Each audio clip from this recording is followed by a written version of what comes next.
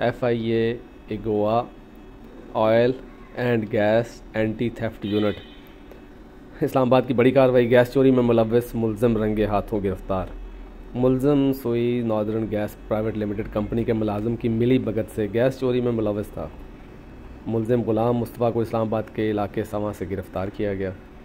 मुलजिम ने सुई नादरन की पाइप लाइन से अपने होटल के लिए डायरेक्ट कनेक्शन लगाया हुआ था। गैस चोरी से कौमी ख़जाने को लाखों रुपए का नुकसान हो रहा था। मुलजिम के खिलाफ मुकदमा दर्ज करके तफ्तीश का आगाज़ कर दिया गया है। दिगर मुलजमान की गिरफ्तारी के लिए छापे मारे जा रहे हैं। गैस चोरी में मुलविस अनासर के ख़िलाफ़ सख्त कार्रवाई और क्रैकडाउन का आगाज़ कर दिया गया है। मुल्की ख़जाने को नुकसान पहुँचाने वाले अनासर के ख़िलाफ़ बिला इम्तियाज़ कार्रवाइयाँ जारी रखी जाएँगी। तर्जमान एफ़ आई ए का ये कहना था। मैं आपके साथ एफ़ आई ए के oil S anti theft unit का नंबर भी शेयर करूँगा ताकि फर्दर मज़ीद बिजली, गैस और ऑयल चोरी के बारे में आप इंफॉर्मेशन दें। दार पाकिस्तानी होने का सबूत दें। शुक्रिया।